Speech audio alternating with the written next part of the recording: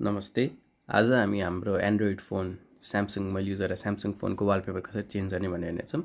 अनि म दुईवटा टेक्निक युज गर्नेछु फर्स्ट भनेको चाहिँ आफैले डाउनलोड गरेको वालपेपरलाई कसरी यो होम स्क्रिन लक स्क्रिनहरूमा हाल्ने। र अर्को भनेको चाहिँ हामीले यहीँ स्यामसङको अभाइलेबल थिम्सहरूमध्ये कुनै चुज गरेर कसरी हामीले हाल्न मिल्छ भनेर देखाउनेछु फर्स्ट स्टेप भनेको अब म ग्यालेरीमा जानु पऱ्यो फर्स्टको लागि मैले यो डाउनलोड गरेको इमेज भइहाल्यो सेट वालपेपर गर्ने।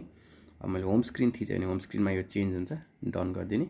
लक स्क्रिनको लागि हामीले लक स्क्रिन थिच्यौँ भने सिम्पली लक स्क्रिनमा हुन्छ प्रोसेस सेम हो। अब मेरो होम स्क्रिनमा यो चेन्ज भइसकेको छ है।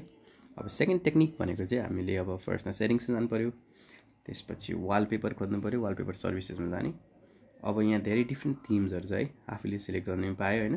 अब यहाँ ग्यालेक्सी थिम छ मैले युज गरेर होइन यो थर्डको थिम भयो अहिले युज गरेर। तर मलाई अर्को थिम युज गर्नु पऱ्यो भने चाहिँ अब म यसमा जान्छु यसमा गएपछि गेट मोर वालपेपर्समा जान्छु।